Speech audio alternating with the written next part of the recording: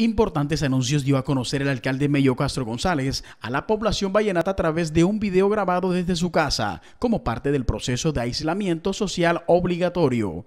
El mandatario local informó que se aseguraron los recursos para garantizarle la alimentación a la población más vulnerable de Valledupar. Que hemos asegurado los recursos para garantizarle la alimentación a la población más vulnerable de la ciudad.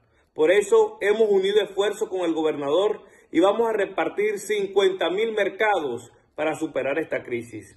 Al mismo tiempo, Castro González dijo que su deseo es despertar la solidaridad de aquellas personas de buen corazón, por lo que en diálogo con Monseñor Óscar José Vélez y Sasa, se acordó que cada ciudadano interesado en hacer sus donaciones de alimentos podrá acercarse a la casa cural más cercana a su residencia y entregársela directamente al padre de la iglesia.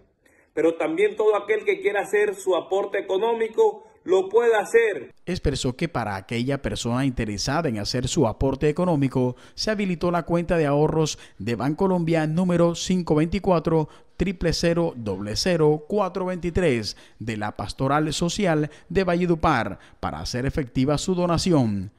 Por su parte, el gobernador Luis Alberto Monsalvo Géneco también dejó saber su compromiso con la seguridad alimentaria de las comunidades más vulnerables a quienes inicialmente se le entregarán 100.000 mercados y en caso de que la situación de emergencia lo amerite, se procederá con mayores compras. De la misma forma, el mandatario pide a la comunidad que evite los tumultos en supermercados y tiendas a la hora de comprar sus víveres, porque esto podría convertirse en el peor detonante del coronavirus, como lo demuestra el caso en Italia.